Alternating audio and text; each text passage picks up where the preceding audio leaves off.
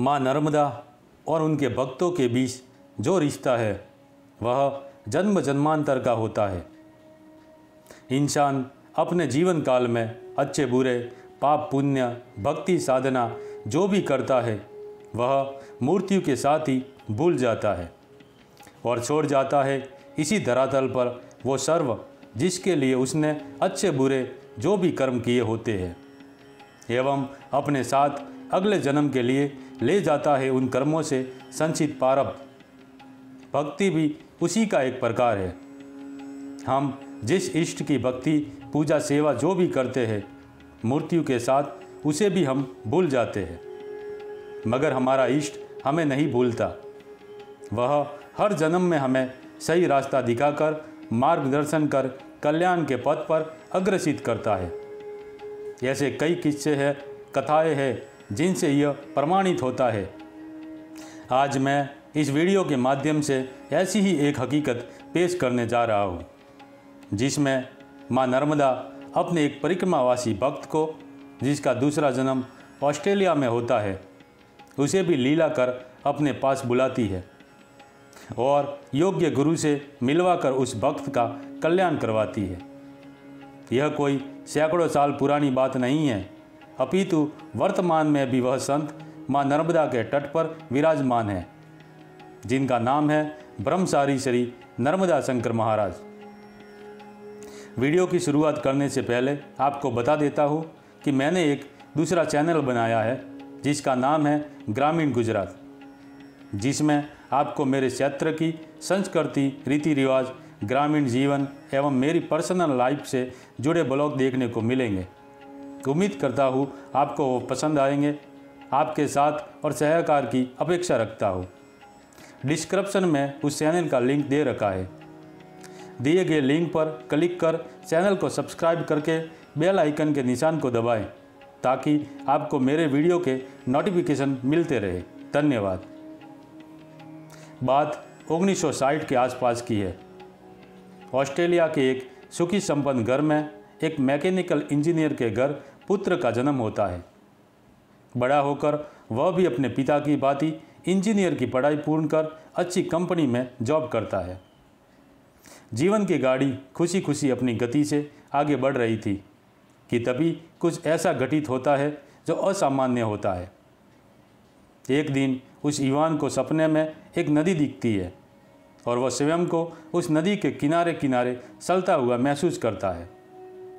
एवं उसके आसपास आगे पीछे भी कुछ सफ़ेद वस्त्रधारी व्यक्ति चल रहे होते हैं, जो नर्मदे हर नर्मदे हर का उच्चारण करते जाते हैं। कभी कभी एक घाट दिखाई पड़ता है। घाट के सामने विशाल पर्वत है। बीच में एक नदी है और नदी के किनारे पूजा पाठ करते पुजारी और श्रद्धालु। शुरुआत में ईवान ईश्वर कोई खास ध्यान नहीं देता, परंतु धीरे धीरे ये स्वप्न उसको व्यतीत करने लगता है, क्योंकि प्रतिदिन निंद्रा अवस्था में उसे ऐसा सब कुछ दिखता है। वह युवान इस विषय पर जब अपने परिवार से बात करता है, तब उसके पिता द्वारा जानकारी मिलती है कि इस प्रकार की संस्कृति वेशभूषा वाले लोग और ऐसे तीर्थ स्थान तो भारत में ही देखे जाते हैं। और एक दिन वह युवान विजिटिंग वीज़ा लेकर निकल पड़ता है भारत की ओर। पता तो था नहीं उसे कि कहाँ जाना है, मगर उसे इतना पता था कि भारत के अहमदाबाद शहर में महात्मा गांधी का साबरमती आश्रम है, जो दर्शनीय स्थल है। तो वह चला गया साबरमती आश्रम। साबरमती आश्रम में घूमते हुए उस ईवान को दीवार पर लगा एक चित्र दिखाई देता है। चित्र देखकर उस ईवान की खुशी का ठिकाना नहीं रहता। क्योंकि वह चित्र हूबहू वैसा ही था, जैसा उसे स्वप्न में दिखाई देता था। पूछने पर पता चला कि यह चित्र ओमकारेश्वर जी का है।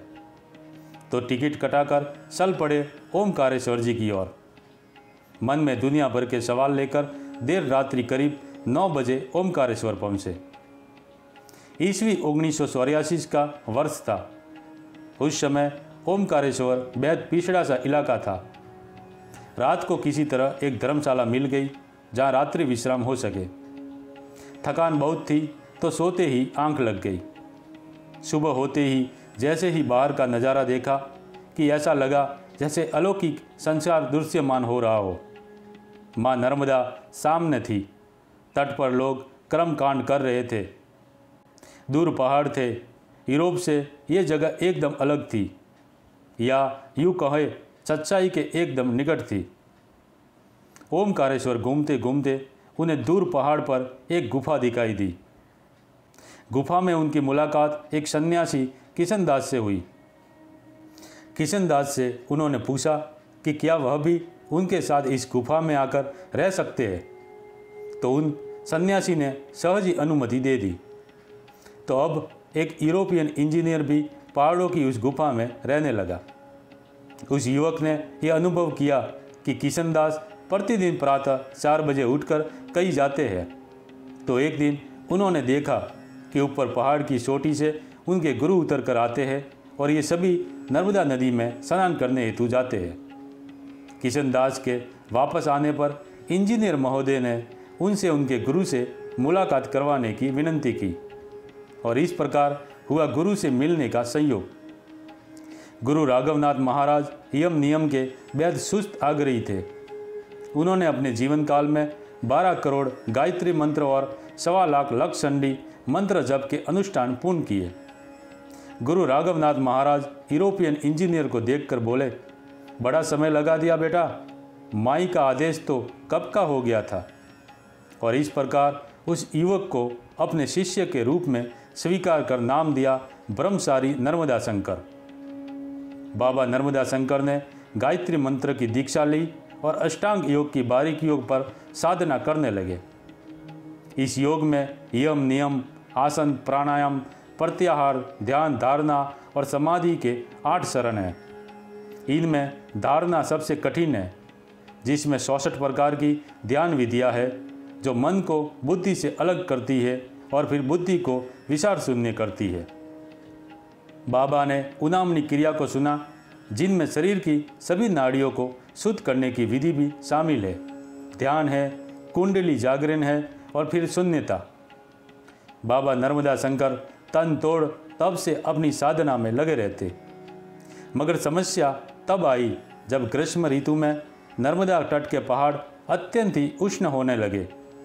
तब बाबा को अपनी साधना पूर्ण करने हेतु हिमालय जाना पड़ा। दूसरी समस्या यह हुई कि उनका भारत में रहने के वीज़ा की समय मर्यादा समाप्त हो गई। अब उन्हें वापस अपने देश लौटना पड़ा। ऑस्ट्रेलिया जाकर कुछ समय बाद वापस पाँच वर्ष का वीज़ा लेकर वह भारत लौटे।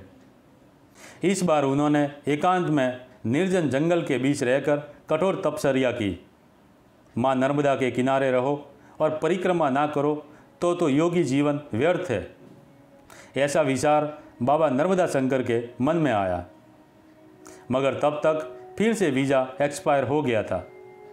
वापस उन्हें अपने देश लौटना पड़ा। मगर जाते जाते बाबा ने माँ नर्मदा से आंतर प्रार्थना की कि, हे माँ, कुछ ऐसा चमत्कार कर कि मेरा संपूर्ण जीवन तेरी गोद में बीते, तेरे सानिध्य में बीते। बस फिर क्या था? माँ नर्मदा ने अपने भक्त की पुकार सुन ली। अपने देश जाकर बाबा नर्मदा शंकर ने कुछ समय इंतज़ार कर दोबारा से वीज़ा के लिए अप्लाई की। और उसी कार्य हेतु एक दिन वह भारतीय दूतावास गए। दूतावास में अधिकारी के ऑफ़िस में घुसते ही बाबा ने जय घोष किया, नर्मदे हर। माँ की कृपा हुई कि सामने बैठे अधिकारी भी माँ नर्मदा के भक्त तथा मैया के किनारे स्थित जबलपुर के निवासी निकले। विदेश में अपनी माँ के नाम का जय घोष सुन अत्यंत ही पसंद हुए। खुशी के साथ अधिकारी महोदय ने बाबा से पूछा, बाबा जी, भारत में कब तक रहना चाहते हो? बाबा नर्मदा शंकर ने जवाब दिया, मरते दम तक। अधिकारी महोदय ने उन्हें एक्स वीज़ा दे दिया, जो अगले सत्रह साल तक उन्हें भारत में रखने के लिए काफ़ी था। और उसके बाद 2008 में बाबा ने भारतीय नागरिकता ले ली इस दौरान बाबा ने 3300 किलोमीटर की दुर्गम नर्मदा परिक्रमा नंगे पाव पूर्ण की यात्रा के दौरान सुलपानी की जाड़ी में आदिवासियों ने बाबा नर्मदा शंकर को भी लूट लिया था बाबा कहते हैं लूट तो लिया था पर भोजन भी उन्हीं लोगों ने करवाया था घने जंगलों में रहते हुए बाबा नर्मदा शंकर ने गोरख सिद्धि भी सिद्ध की जिसमें चौसठ आसन और सौइष्ट मुद्राओं को एक आसन में सिद्ध करना होता है। अपनी साधनाओं के बाद उन्हें गुरु से आज्ञा मिली कि वह अब एक आश्रम बनाकर रह सकते हैं और गौ सेवा कर सकते हैं। गौ माता की सेवा में एक दिन गाय माता ने टक्कर दे मारी, जिससे बाबा के कुल्हे की हड्डी टूट गई, जिस पर बाबा कहते हैं कि जीवन में बिना कारण कुछ नहीं होता। आज नर्मदा शंकर बाबा एक योगी के साथ, एक किसान भी है। बाबा नर्मदा शंकर के जीवन से ये शास्त्र कथन सत्य होता है कि पुण्य भी मोक्ष मार्ग में बाधा उत्पन्न कर सकता है। मगर जिस पर कृपा हो माई की, उसे चिंता काई की। इसीलिए तो कहते हैं कि नर्मदा के कंकर हर कोई शिव शंकर नर्मदे हर।